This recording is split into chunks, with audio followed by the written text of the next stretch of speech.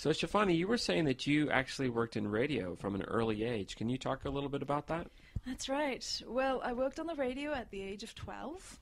What basically happened was that I used to call up the radio station quite a lot, answer questions and quizzes and all that sort of stuff. And uh, one of the announcers thought my voice was nice and so wanted me to come and work for him. Without realizing that I was 12 years old, he called me in and had me on. So, were you a little scared? I mean, you're only 12.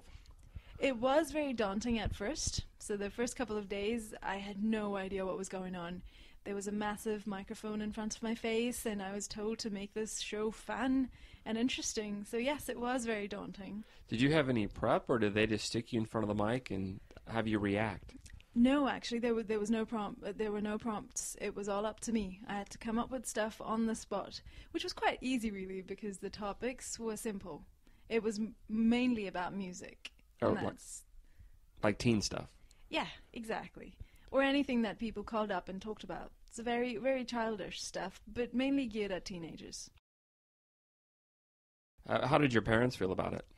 Very proud of me, obviously. At the age of 12, their daughter was a DJ. Uh, what could be better than that? So they really enjoyed it. I remember they would listen to it every single time, record it, and then listen to it over and over again when they could. Oh, that's fantastic. So, uh, were you like a little celebrity at your school?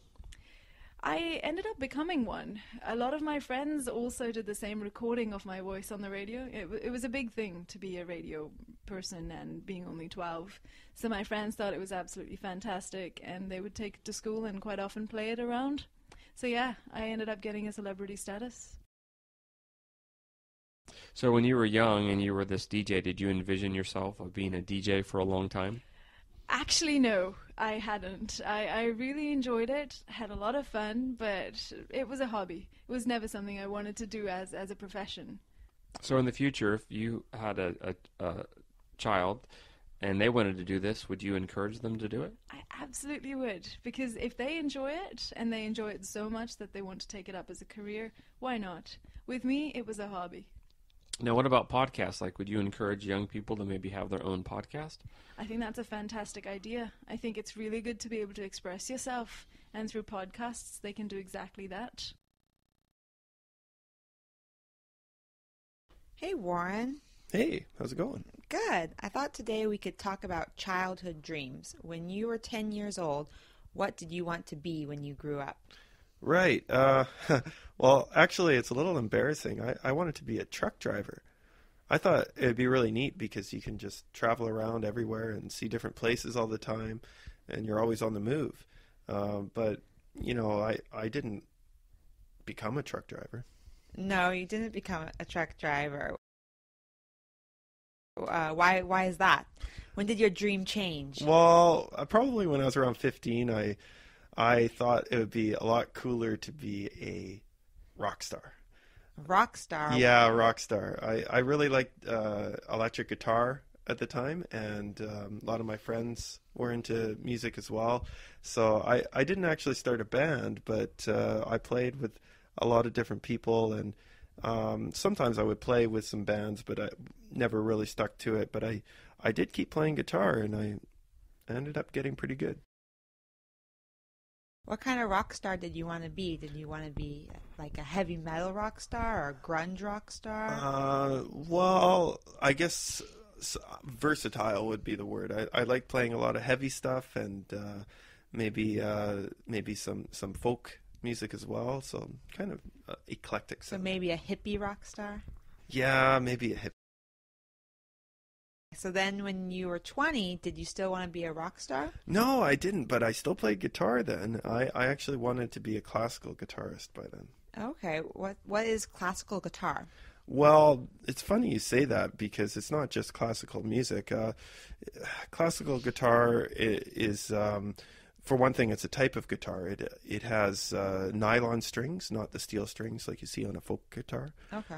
And there's different styles you can play on it, uh, like Spanish music or flamenco, uh, South American music, some classical music like Beethoven and things like that, or Baroque music like.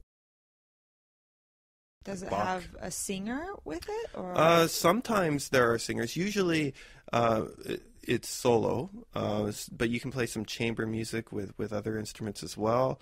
And uh, yeah, I played some some pieces with uh, vocalists, but it wouldn't be pop music. And so now you're older. Uh, are did your dream come true? Did you become a classical guitarist? I did, uh, but I actually decided to change my dream after I became a classical guitarist. So what's your dream now? Well, my dream now is to become a, a university professor. Oh, and are you making steps to achieve that dream? I am actually. I'm working at a university now, not as a professor, uh, as as a part-time lecturer, but uh, I'm taking some courses and studying hard and hoping that my future will will uh, will allow me to become a professor. Okay. Well, unless you change your dream again, I bet you'll achieve your dream, Warren. So good luck. Oh, great! Thank you.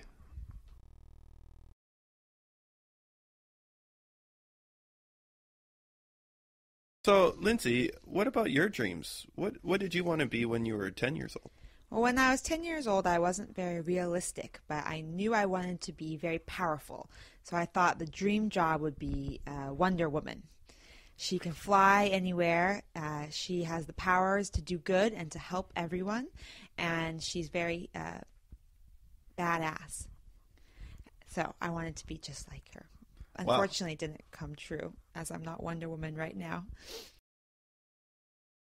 No, I can see that, but it seems like you had a, a good imagination as a kid. But I guess that, that probably changed as you got older. What about when you were 15? Well, then when I was 15, I still wanted to be very powerful um, and very strong, but I had a more realistic idea of what I wanted to be. But I still didn't know a lot about the world, so I just wanted to be a very powerful businesswoman. I had, had no idea what kind of business, and I had no idea what that actually meant, but I wanted to wear an all black suit and have a briefcase and go to work in a nice office and drive a nice car and do something that was very powerful. But I had no idea really what a powerful businesswoman does. Oh, well, that seems like a pretty good dream for a 15 year old. But I guess you probably had a better idea when you were 20, so what about then? So when I was 20, then I still wanted to be powerful and strong. I guess you can see the common theme here. Uh, but then I had even more realistic idea of actual real professions. So at that time, I was quite uh, social. I really enjoyed going to parties. Uh, and I was living in New York at the time, so I thought the perfect job for me would be a public relations specialist. Uh, I thought I could be one of those people that plans parties or um, does handles the PR, the publicity for celebrities. Uh, I had a dream of maybe working for Madonna or working for a famous TV show and handling all, all their publicity representation. Oh, well, that's great. It seems like you, you had a better idea by the time you're 20. But uh, I guess you probably have some dreams now, even. So, what kind of dreams do you have now? Well, then uh, when I was 20, I was quite uh, egotistical. I just wanted, only thought about myself and how I could have more money and be more powerful. But then something changed when I started traveling and seeing the world, where I decided that I'd rather have a job that does something good for the world and gives back to the community and to the people. Um, so now I'm a teacher, and I really enjoy that the idea of making a difference in, in people's lives. And in the future, maybe when I get older, I hope to start an animal shelter so that um, when animals are left on the street or abandoned, they can come to my shelter and I can provide a happy home for them. Wow, that's a great vision for the future. Thanks. So we're talking about camp today. Uh, did you ever go to camp when you were a kid? I did. I usually went to Cub Camp, you know, like Boy Scouts. Okay. Was it during the summer? Yeah, it'd always be in the summer. And was it for a week or a month or I, I can't recall. It probably was about a week. about a week? What'd you do at Cub Camp? Oh, we do different things. Um, one thing I remember is uh, archery. Archery. Yeah, like bows and arrows. So we would have uh, a target, and uh, we, we would practice trying to hit the target. And I was really bad at it. I I remember always. Um, it's quite difficult, and I would hurt my my arm with, with the with the bow. Um, but then after the we were trying to get the target, I remember we did distance as well, and I was actually pretty good at that. I, I figured out how to get a long uh, long shot away, and I, I think I I might be lying, but I think I, I maybe got the longest shot than anyone else. Oh wow! Congratulations. Um. Okay. Besides archery, were there other games you played or sports you did? Yeah, well, we would uh, learn how to uh, canoe, and uh, we we swim, and uh, we'd go on hikes. We we'd learn how to navigate through the forest with a compass, Okay. things like that. Did you learn how to start fire without matches? We did, yeah. We would uh, use um, two sticks, rub them together, start a fire. Wow. Yeah. Uh, what would you guys do at night? Would you um, play games or have campfires? Yeah, we'd always have a campfire at night. Uh, we'd sing some songs like Kumbaya, and uh, yeah, put on some skits and tell ghost stories. But my favorite thing to do at the campfire was uh, roast marshmallows. Oh, that's the best. Yeah, we- I'd I'd spend hours trying to find the perfect stick to, to Mm. carve and uh, roast marshmallows on. And sometimes we'd even make the, the chocolate s'mores with the marshmallows. Uh, so that food was good. How was the other food? Um, I don't have any memories of it being good, so I don't think it was very good. We we would all eat together in in uh, a mess hall, much like yourself. And uh, actually, I remember getting really sick one time, and uh, my parents had to come and pick me up, and I think I, I got a bit of food poisoning. Oh wow, from the food Yeah. the Cub Scout camp. Yeah, that's right. wow, okay. Um, final question. So you were away from your family, right? hmm Was that hard or easy? Oh, it was it was easy. I I remember feeling a little freer and uh, more independent, away from my parents. Less rules, less regulations. You weren't homesick at all? I no, I never did get homesick. Even when my parents came to pick me up that time when I was sick, I, I really didn't want to go home. Oh, too Yeah. bad you got food poisoning. Yeah, yeah. Okay. Thanks, Warren.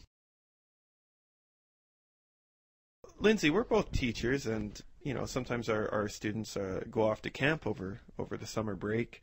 Did you ever go to camp when you were younger? I did go to camp. The camp I went to was called Pilgrim Pines. Oh, what was that like? Uh, it was great. Uh, it was one week away from my family, and each person got to take care of an animal. Uh, some people took care of horses, some people took care of sheep. Uh, but I got the lucky task of taking care of Xanadu the llama. what was that like? Oh, it was awesome. I, when I was a kid, my favorite animal was a llama. So um, that's why we looked into this camp to begin with. And uh, I had to brush it uh, and I had to feed the llama. And it was such a sweet llama that uh, I really fell in love with it. And every day I'd wake up, feed the llama, and brush it. And then uh, in the afternoon, I'd also come and visit the llama. Xanadu was his name. But um, a couple of times he got mad. I'm not exactly, I can't remember why actually he was upset. But uh, when llamas are mad, uh, do you know what they do? I don't know. They actually spit. Uh, oh, really? yeah, and you have to be, and then they get, if they spit at you, that means they're really upset and they can be dangerous. I mean, I was only 10 at the time, so the llama was a lot bigger than me. Uh, and one time it, it spit at me and the spit got stuck in my hair and it was this really thick, gross, uh, mucousy spit. Oh. Um, and that really uh, struck an image in my mind. I can't ever kind of forget that llama spitting at me.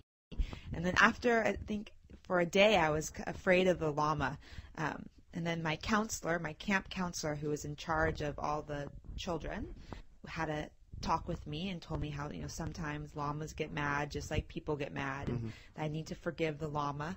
And uh, I did. And then the next day I went and uh, and fed the llama and brushed the llama and everything was back to normal. But it was a really good experience to learn how to take care of a pet. Hmm um, and a good experience to be away from my family for the first time Um, so I guess there were other kids at the camp too. Did you guys all eat together?